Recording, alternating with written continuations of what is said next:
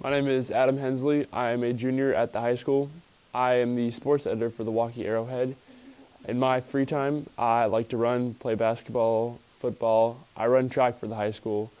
Um, probably my favorite memory from publications would have to be the Iowa City trip, where we got to sit in the different seminars. I joined publications because I love to write and I love all things sports.